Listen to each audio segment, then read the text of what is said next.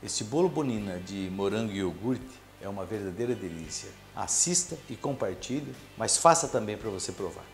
Em uma tigela grande ou um recipiente e um fouet, misture um ovo um a um, depois o açúcar, depois os três iogurtes, os 100 gramas de manteiga derretida, as duas colheres de extrato de baunilha, a colherinha pequenininha de sal fino, as 300 gramas de farinha de trigo bonina, sempre aos poucos, e o fermento por último. Ah, e não esqueça do morango, depois que você acomodar de uma forma untada e farinhada, coloque o morango e leve a assar por mais ou menos uns 40, 45 minutos a 180 graus. Viu? Ele vai soltar água, você vai pensar que ele não vai dar certo, mas vai sim.